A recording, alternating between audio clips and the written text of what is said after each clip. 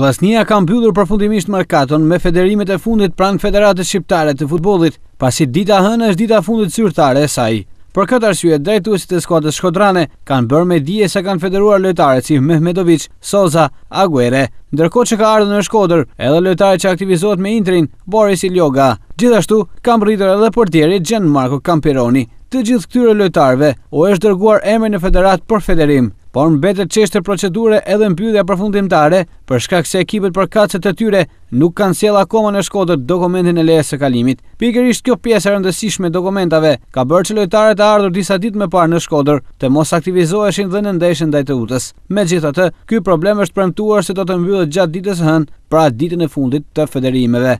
Duke u ndalur tek skuadra e Vllaznisë, Pas fitores me Teutën, mund të thuhet se tashmë starton kampionati. Kjo për shkak se kuqeblutë pas dy javësh kampionat gjenden në kuotën e zero pikëve, duke shlyer kështu edhe ndëshkimin që ka dhënë UEFA për ekipin shkodran për mosshlyerjen e detyrimeve.